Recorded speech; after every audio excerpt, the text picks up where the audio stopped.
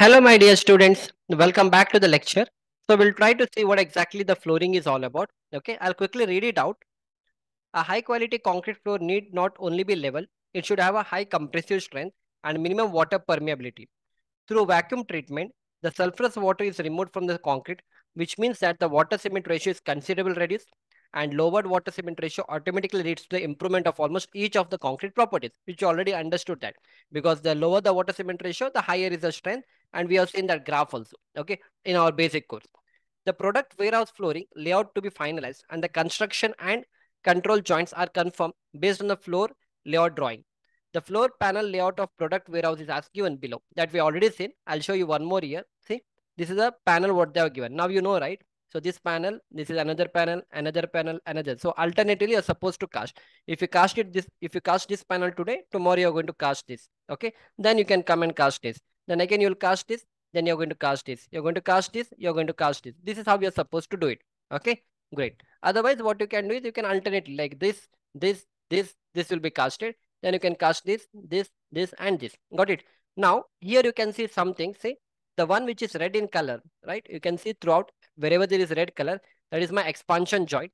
Okay. And the one which is green in color. So these are my green color. Do you agree with me? This green, this green. These are my construction joints. And wherever the dotted line has been given, this is my dotted line, isn't it? These are, they are called as control joints. We'll see the difference in the later part. Okay. Now this is the layout what is given. So a high quality concrete floor need not only be level, it should have a high compressive strength. Uh, this is already done. Okay, the same thing, whatever was here, the same thing I've added it here, no problem. So this is what I'm actually speaking of. You see here how the flooring has been done. Okay, so in this we have two types. One is uh, normally when you do the PCC, directly you can lay the reinforcement. Otherwise, sometimes what we do, if you're doing for the industry and all, uh, on the ground itself, you're going to do the WMM mix, that a wet mix macadam. Okay, those big boulders and uh, stone, uh, stone dust you're going to put. You're going to do the proper compaction. You'll lay the polythene sheet and then you're going to do this. So these are the reinforcement what you're supposed to put. And after the reinforcement, these are the channels what you're going to create. This is one channel, this is two channel. So this channel itself is a width, whatever width I mentioned it here, no, this width. This width is this particular channel, okay? This particular, this channel, this channel. Then you're supposed to put the concreting and after that you are supposed to run two, three different equipments so that you're going to get a proper compaction. Uh, there's a dewatering happening and finally the green color is going to come if you're using a color floor hardener. Simple. Now, so what are the equipments that is required? We'll see that. First is you require a mild steel C channels. These are called as mild steel C channels. Okay.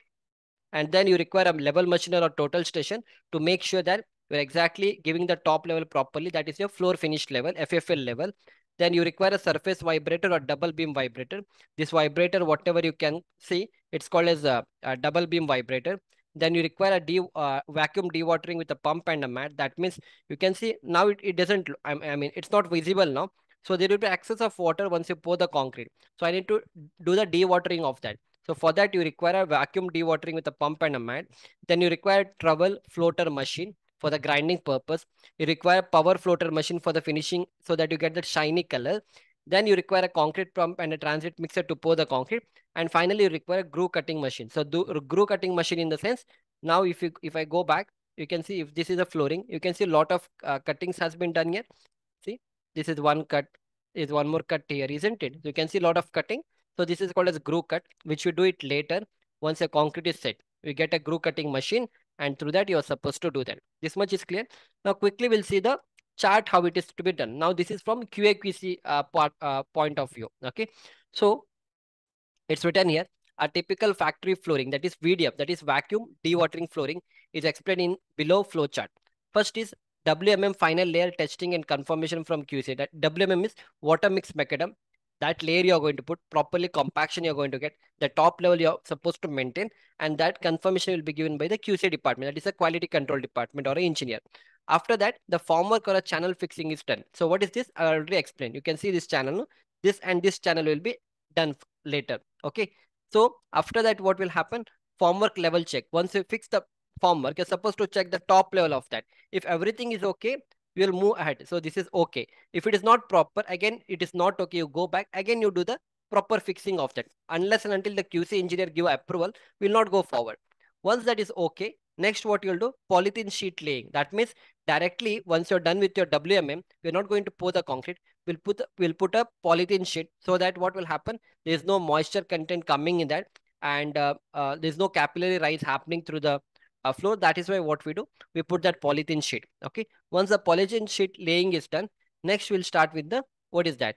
Rebar fixing. That is a reinforcement usually we go with 10 or 12 diameter bar at 150 center to center spacing that will mention in the drawing with that we go so rebar fixing will be done as per the drawing next is concrete laying and compaction the concrete laying and compaction will be done as usual whenever we do concreting we are supposed to do that so here the concrete slump check when the concrete comes to the site you're supposed to do the concrete slump check and also the qc engineer will make sure that concrete vehicle batch slip is also checked, which is a, a, duty of a quality control engineer.